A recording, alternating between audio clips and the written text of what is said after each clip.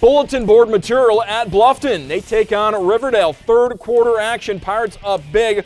Falcons Reagan Fry drives and scores, but too much from Bluffton. Olivia Koenig, the inbound to Andy Schmutz, and Schmutz will lay it in. 53-25, Lady Pirates in front later. Schmutz to Avery Rumor, back to Schmutz, the open look. She'll hit the three. Bluffton wins 68-49, 10th straight victory. Schmutz 18 points in the win.